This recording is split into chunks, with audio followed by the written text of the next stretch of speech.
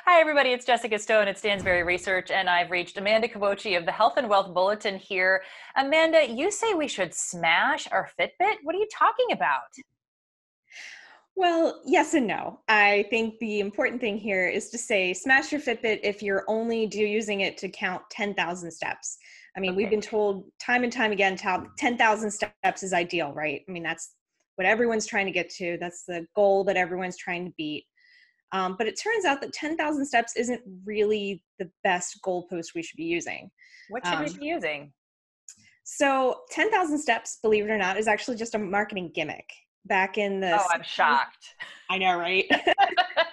Advertising psychology at its finest. Uh, basically, you know, in the mid 60s when the first um, pedometer came out, it was a Japanese company, and they just wanted a number that would be auspicious, you know, that would make people want to buy it and say, this is the key for your health.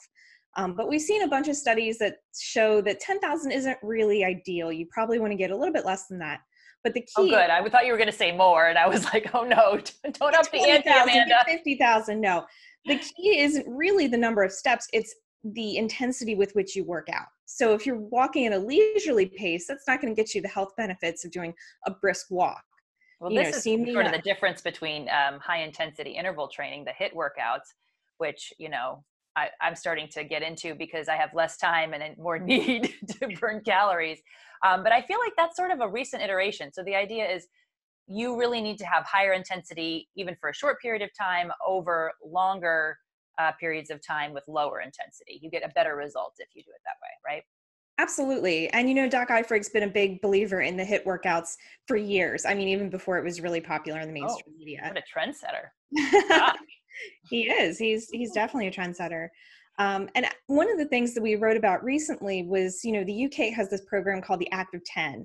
And what they did is they looked at people who were just getting their 10,000 steps however they wanted.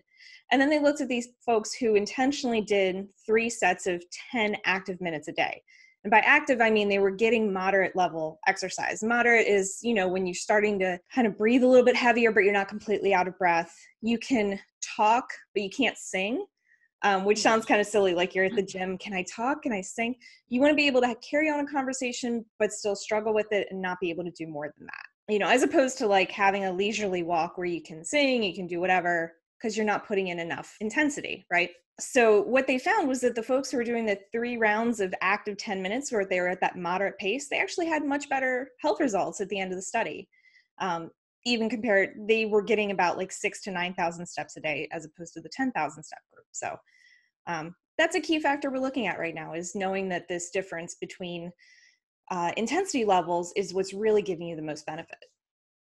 All right, Amanda Cuocci there with the Health and Wealth Bulletin. It is not how long you work out, but how hard you work out. Thanks so much. 10,000 Steps, The Myth with Amanda Cuocci. Um, if you want to be directly connected to her writings and the rest of the franchise, please hover on your screen now. We'll connect you there. Plus, you can find us on YouTube, Facebook, Instagram, LinkedIn, and Twitter. Thanks for watching. That's all for now.